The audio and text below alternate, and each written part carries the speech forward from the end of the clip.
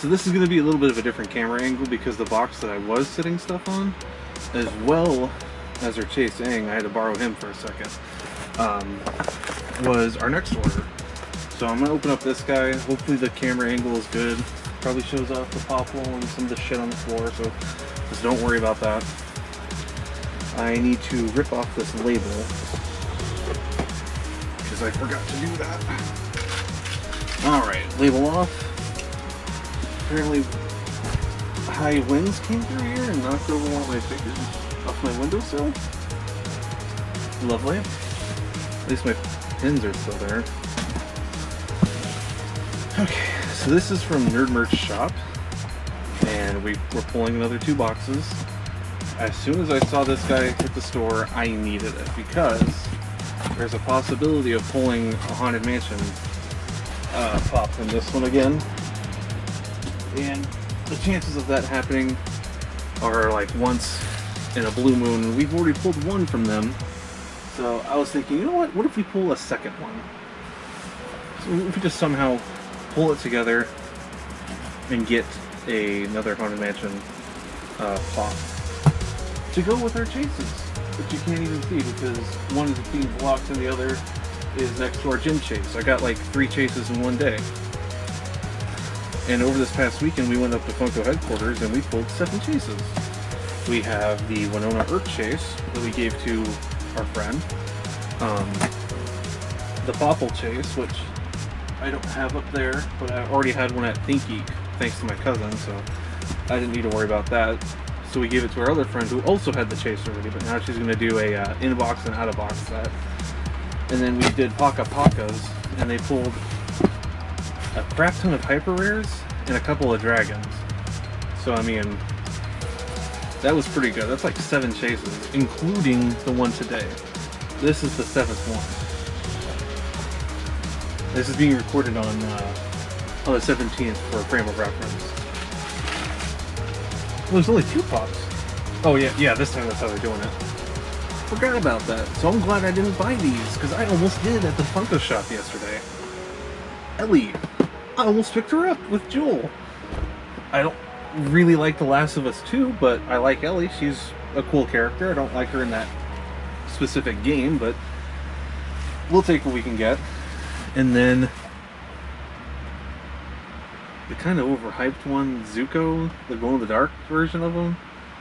I mean, it fits with the avatar because we already got Aang, but the glow is so weak on this. The only thing that glows is the lightning coming out of his arm. That's it. So that's why I was going to pass on it. Box Lunch by me still has a ton of them, so no, that's a bit of a letdown. But hopefully this one will be good. We didn't pull a chase, uh, spoiler alert, we didn't pull a chase Dick Dastardly. Definitely go check out that video. Come on, open up, there we go. Which that one will probably be up a lot sooner than this one, because that one's a lot easier to edit. All I have to do is just throw it together and then boom, it's up. Let's see here. Alright, we're gonna pull this one out. Uh, Zark. Oh my god, we got a chase! Holy shit! One of we've already had, but another chase! And I'm not super excited about pulling it because I've had this once before already. And I don't collect G.I. Joe, but I know some people around town that do, so that'll go to them. And then we have Edward Scissorhands. I don't think this one was a grail. So this is kind of like a hit and miss box. It's like a 50-50. So I, paid about 60 bucks for all of them. And we're gonna go ahead and tally up everything here. Super cool movie. I don't know if this pop is really worth a whole lot though. I, I wasn't gonna, for reference, I wasn't gonna go for the whole set. But, uh, I don't know, I might now. I might just try and pull them through mystery boxes rather than go buy them at retail. So he's 11. Zartan Chase is 35, so that's not bad. That's already, like, close to what we paid. That's what, like 46? So, so that's not bad at all. It's too far away. Come on. Scarum. Ellie is 17. Holy shit. That's a lot. And Zuko, I don't expect him to be that much. $23? What? Why is okay, why is Zuko 23? There's no reason he should be that high. So 23 plus 17 plus 35 plus 11. We made 86 bucks.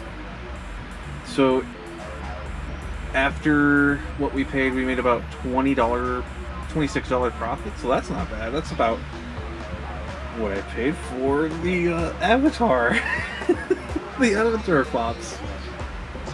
And the Hot Topic kiosk by me had two, or had three, so I picked up one because I wasn't going to take them all. I wanted to, but I wasn't going to be that guy. But man, that was uh, not bad. That's another chase. Makes up for not getting the Dick Dastardly chase, so that's pretty cool.